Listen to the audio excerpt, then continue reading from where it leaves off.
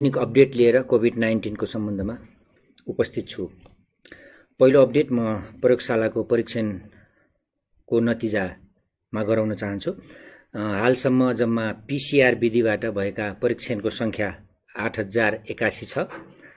त्यसै गरी rapid diagnostic टेस्टबाट भएको परीक्षणको सङ्ख्या एक्काइस हजार चार सय छ्यासी छ। यसरी कुल परीक्षणको सङ्ख्या हालसम्म उन्तिस हजार पाँच सय सडसठी रहेको छ। गत चौबिस घन्टामा नयाँ परीक्षणहरू एक्काइस सय अडसट्ठीवटा भएका छन्। आरडिटी परीक्षण सबै जिल्लामा हिजोदेखि सुरु भइसकेको अवस्था छ। थप परीक्षणको लागि किटहरू हामीले धे सबैजसो प्रदेशहरूमा पुर्याइसकेका छौँ। त्यसकारणले अब अझ बढी ऱ्यापिड डायग्नोस्टिक किटको सङ्ख्या बढ्नेछ। क्वारेन्टाइनमा रहेका व्यक्तिहरू आजको दिनमा पाँच हजार एक सय असीवटा हुनुहुन्छ। यो सङ्ख्या यहाँहरूले नोटिस गर्नुभएको होला। दिन प्रतिदिन घटिरहेको छ। त्यो भन्नुको मतलब विभिन्न विधिबाट गरिएका परीक्षणहरूसँगै नेगेटिभ आएका व्यक्तिहरूलाई घरमा थप होम क्वारेन्टाइनको लागि पठाएको अवस्थाले गर्दा यो सङ्ख्या घटिरहेको छ। आइसोलेसनमा रहेका बिरामीहरू आजको दिनमा एक सय तिनजना हुनुहुन्छ जसमा उपत्यकाभित्र पाँचजना र उपत्यका बाहिर अन्ठानब्बेजना हुनुहुन्छ। कल सेन्टरको अपडेट गराउन चाहन्छु। हाम्रो दुईवटा कल सेन्टरहरू हो एघार पन्ध्र र एघार तेत्तिस जसमा गत चौबिस घन्टामा दुई हजार दुई सय एकचालिसवटा कलहरू आएका छन्। यो सबै कलहरूको हाम्रा स्वास्थ्य कर्मी साथीहरूले सम्बोधन गरेर त्यहाँ सोधेका प्रश्नको जवाफ दिनुभएको छ। कोभिड नाइन्टिन सम्बन्धी हाम्रो मोबाइल एप छ हाम्रो स्वास्थ्य नामको र वेब पेज छ covid nineteen dot MOHP dot GOV dot NP यो दुईवटा एपहरूमा सो मूल्याङ्कनको लागि क्वारेन्टाइनमा रहेका व्यक्तिहरूले गरेको इन्ट्रीको सङ्ख्या हालसम्म बिस हजार आठ सय चौतिस पुगेको छ। गत चौबिस घन्टामा थप सात सय चारजनाले इन्ट्री गराउनु भएको छ। त्यसै गरी रेड जोनमा पर्नु भएको व्यक्तिहरूको सङ्ख्या जो व्यक्तिहरू सम्भावित सङ्क्रमित हुन सक्नुहुन्छ जसलाई खोकी लागेको छ ज्वरो आएको छ बाहिरको यात्राबाट आउनुभएको छ त्यस्ता व्यक्तिहरूको सङ्ख्या हालसम्म दुई सय साठी पुगेको छ र गत चौबिस घन्टामा थप छजना यो जोनमा यो रेड जोनमा आउनुभएको छ। यहाँहरूको ट्रेसिङ गर्ने कार्य हाम्रो सम्बन्धित महाशाखाबाट भइरहेको छ। केही क्रियाकलापहरूको बारेमा अपडेट गराउन चाहन्छु। कोभिड नाइन्टिनको लागि धौलागिरी अस्पताल बागलुङमा उपचारमा रहेकी पैँसठी वर्षीय महिलाको जुन हिज नेगेटिभ रिपोर्ट आए पश्चात हिज साँझ अस्पतालबाट डिस्चार्ज हुनुभएको छ। त्यसै गरी आज सेती अस्पतालमा उपचारको क्रममा रहनुभएका एक्काइस वर्षीय पुरुषको पनि पिसिआर विधिबाट नेगेटिभ आए पश्चात अहिले डिस्चार्ज हुनुहुँदैछ। भेरी अस्पताल नेपालगञ्जमा पनि पिसिआर टेस्ट सुरु भएको छ आजदेखि। अहिले त्यहाँ आठवटा नमुनाहरू रन भइरहेको अवस्था छ।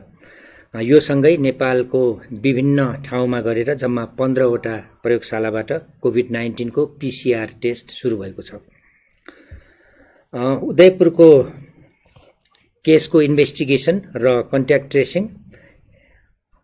भइरहेको छ र हिजो गएको टोलीले शङ्कास्पद रहेका उनसत्तरीजनाको आरटिपिसिआर परीक्षणको लागि नमुना सङ्कलन गरिसकेको छ भने आज सिसिएमसी मार्फत नेपाली सेनाको हेलिकप्टर प्रयोग गरेर त्यहाँ नमुना सङ्कलनको लागि टोली गइसकेको अवस्था छ। अहिले नमुना सङ्कलन कार्य भइरहेको छ। करिब दुई सय पचासभन्दा बढी नमुना सङ्कलन गर्ने लक्ष्य लिएको छ। अहिलेसम्म देशका विभिन्न प्रयोगशालामा भएका परीक्षणको नतिजाको क्रस भेरिफिकेसन यहाँहरूले धेरै पटक जिज्ञासा राख्नुभएको थियो कि प्रदेशमा भएका प्रयोगशालामा हुने पिसिआर प्रविधिको परीक्षणमा नमुना पोजिटिभ आएको खण्डमा फेरि यहाँ राष्ट्रिय जनस्वास्थ्य प्रयोगशालामा त्यसको पुनः परीक्षण गरिन्छ। त्यसले गर्दा ढिलाइ पनि हुने र किन गर्नु परेको भन्ने कुरा पनि धेरै आएको थियो। त्यो भनेको केस भेरिफिकेसन हो। एउटा मसिनबाट गर्दा अर्को मसिनमा पनि त्यो टेस्ट गर्नुपर्ने हुन्छ केही समयको लागि। त्यो भेरिफिकेसनको दायरा हामीले फराकिलो गरेका छौँ। अब उपरान्त पश्चिममा भेरी अस्पतालमा र पूर्वमा बिपी कोइराला स्वास्थ्य विज्ञान प्रतिष्ठानमा त्यो बाहेक अन्यत्र ठाउँबाट आउने पिसिआर पोजिटिभहरू त्यहाँ भेरिफिकेसन भए पश्चात नमुना पोजिटिभ भनेर घोषणा गरिनेछ। त्यसले गर्दाखेरि हामीलाई काम गर्न सहज हुनेछ। सङ्क्रमित व्यक्तिहरूको विवरणमा हालको अध्यावधिक विवरण अनुसार कोभिड नाइन्टिनको जम्मा पुष्टि भएको सङ्क्रमितको सङ्ख्या एकतिस हो। हिजो मात्र एकजना उदयपुर जिल्लाका पैँसठी वर्षीय पुरुषमा पिसिआर पोजिटिभ देखिएको थियो। यो केसको पनि इन्भेस्टिगेसन र कन्ट्याक्ट ट्रेसिङ सुरु गरिसकिएको छ। र कुल सङ्क्रमित एकतिसजना मध्ये चारजना निको भई घर फर्किएका जसमध्ये अन्तिम डिस्चार्जको क्रममा अहिले हुनुहुन्छ र अन्य सत्ताइसजना विभिन्न अस्पतालमा उपचार भइरहेको छ। टेकुमा एकजना पाटनमा दुईजना बागलुङमा एकजना धनगढीमा चारजना वीरगञ्जमा चारजना भरतपुरमा दुईजना र विराटनगरमा तेह्रजना। सबैको स्वास्थ्य स्थिति सामान्य रहेको छ। मैले आजको अनुरोधमा हिज कोरोना सङ्क्रमण सन्चो भएर निको भएर स्वास्थ्य लाभ गर्नुभएका व्यक्तिहरू जो हिजो टेकुबाट एकजना र धौलागिरी अस्पतालबाट एकजना डिस्चार्ज हुनुभयो र सेतीबाट आज एकजना थप डिस्चार्ज हुनुहुँदैछ। उहाँहरूको उपचारमा संलग्न रहनुभएका चिकित्सक नर्स स्वास्थ्यकर्मी लगायत प्रत्यक्ष तथा अप्रत्यक्ष रूपमा संलग्न सम्पूर्ण महानुभावहरूलाई हामी धन्यवाद दिन चाहन्छौँ र स्वास्थ्य लाभ गरी फर्कनुभएकाहरूलाई बधाई पनि दिन चाहन्छौँ। यस सँगसँगै केही कुराहरू पनि पुष्टि भएका छन् जस्तै काठमाडौँ उपत्यका बाहिरका अस्पतालहरूमा कोभिड नाइन्टिनको उपचार भयो। हामी त्यो हिसाबले पनि आफ्नो कन्ट्रीलाई सक्षम बनाउँदैछौँ। सम्बन्धित प्रदेश र स्थानीय तहलाई हामी धन्यवाद भन्नुपर्छ उहाँहरूको ठुलो योगदान पनि छ। स्वास्थ्य लाभ गर्नुभएका व्यक्तिहरूले अनुभवहरू सुनाउनु भएको छ। सङ्क्रमणलाई परास्त गर्न आत्मबलको जरुरी छ। सङ्क्रमितलाई भेदभाव र विभेदपूर्ण व्यवहार गर्नु हुँदैन। परिवार र समुदायबाट सहयोग हुनुपर्छ यो कार्यमा भन्ने कुराहरू उहाँहरूले भन्नुभएको छ त्यो म रिपिट गर्न चाहेँ। त्यसै गरी क्वारेन्टाइनको पालना र दूरी कायम गर्दा उहाँहरूको घर परिवारलाई सरेन त्यो राम्रो कुरा हो। त्यसले गर्दाखेरि यो कुरा हामीलाई थप बल पुगेको छ कि जो पनि व्यक्तिहरू क्वारेन्टाइनमा हुनुहुन्छ उहाँहरू क्वारेन्टाइनको अनिवार्य नियमहरू पालना गर्नुहोस् र सोसियल पर्सनल डिस्टेन्स चाहिँ मेन्टेन गर्नुहोस् जसले गर्दाखेरि अन्यमा रोग सर्दैन। त्यसैले अन्तिममा कोरोना सङ्क्रमण रोकथामको लागि भौतिक दूरी कायम गरौँ अन्य दूरी कम गरौँ। आत्मीयताको दूरी धैर्यताको दूरी स्वास्थ्य स्याहार खानपान पारिवारिक मेलमिलाप आपसी सद्भाव यसको चाहिँ हामी दूरी घटाउनुपर्छ यो काम गर्नुपर्छ यो सद्भावहरू कायम राख्नुपर्छ। भन्दै एउटा विषय जो चाहिँ हिजोदेखि धेरै पत्र पत्रिका अनलाइनहरू मार्फत पनि आएको छ हाम्रो स्वास्थ्य तथा जनसङ्ख्या मन्त्रालयको ध्यान आकर्षण पनि भएको छ। एकजना चिकित्सकलाई सोधिएको पत्रको बारेमा र त्यो बारेमा र त्यसको सत्य कुरा के हो तथ्य कुरा के हो र अहिलेको के अपडेट छ यो सहित यो विषयमा प्रष्ट पारिदिनु हुन म स्वास्थ्य तथा जनसङ्ख्या मन्त्रालयका सहसचिव रघुराम विष्टज्यूलाई यहाँ निम्ताउँदै बिदा हुन्छु नमस्कार।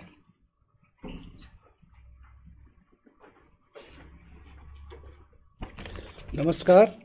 स्वास्थ्य तथा जनसङ्ख्या मन्त्रालयको विज्ञप्ति। अघि नै हाम्रो प्रवक्ताज्यूले भनेको जस्तै विषयमा यहाँ प्रष्ट गर्न गइरहेको छु।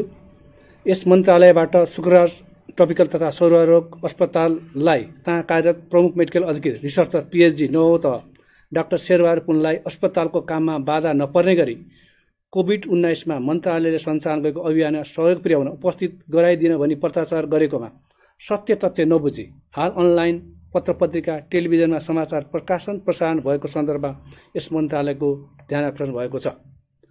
प्रमुख मेडिकल अधिकृत श्री पुनले समेत आफूले पत्र नपाएको भनी मिडियालाई बताउनु भएको सन्दर्भमा मिडियाहरूले उहाँको भनाइ नै खण्डन हुने गरी मन्त्रालयको पत्रमा उहाँलाई स्पष्ट सोधेको भनी कपोकल्पित समाचार प्रसारण प्रसारण गर्नु खेतपूर्ण छ। यस सम्बन्धमा हिजो मिति सतहत्तर एक छ गते नै मन्त्रालयबाट सूचना जारी भइरहेको बेहोरा अवगत गराइन्छ।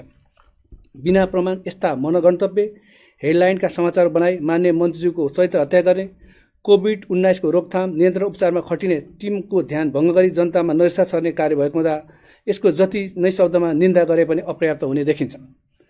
कोभिड उन्नाइसको जो जोखिमले सारा विश्व अस्तव्यस्त भइरहेको समयमा पनि यस मन्त्रालयको उच्च उच्च स्तरको टिम अहरात्र कोभिड उन्नाइसको उपचार रोकथाममा खटिरहेको बेला बिना तथ्य बिना प्रमाण गालीका तुच्छ शब्दहरू प्रयोग गरी व्यक्तिको मनोबल गिराउने र समाजमा नकारात्मक सन्देश जाने समाचार सम्प्रेषण गर्ने कार्य पटक पटक भइरहेको हुँदा अबदेखि समाचार प्रकाशन प्रसारण गर्दा पर्याप्त प्रमाणसहित मात्र गरिदिनु हुन समेत जानकारी गराइन्छ। साथै यस्तो विषम परिस्थितिमा सबैले आफ्नो ठाउँबाट सामाजिक उत्तरदायित्व वहन गरी दिनुहुन समेत विनम्र अनुरोध गरिन्छ।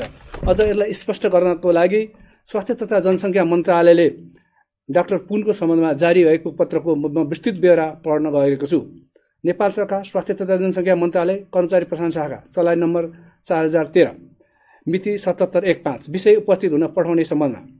श्री शुक्रा टपिकल तथा स्वरोग अस्पताल टेकु काठमाडौँ। प्रस्तुत विषयमा तहाँ कार्यरत प्रमुख मेडिकल अलिकति रिसर्चर पिएचडी नहुँ त डाक्टर शेरबहार पुनलाई तहाँको काममा बाधा नपर्ने गरी कोभिड उन्नाइसमा मन्त्रालयले सञ्चालनको अभियानमा सहयोग पुर्याउने कामका लागि यस मन्त्रालय उपस्थित हुन पठाइदिन हुन यस मन्त्रालयको सचिव स्तर मिति सतत एक पाँचको निर्णय अनुरोध गरिन्छ। उपसचिव। यही बेहोराको पत्र लेखेर हामीले उहाँलाई मन्त्रालयमा उपस्थित हुन डाकेका थियौँ। उहाँ मन्त्रालयमा उपस्थित पनि भइसक्नु भएको बेहोरा पनि यहाँहरू अनुरोध गर्दै अहिलेको विज्ञप्ति र मन्त्रालयको अपडेट यी समाप्त भएको बेला अनुरोध गर्दै मन बिदा हुन्छ। हस् धन्यवाद।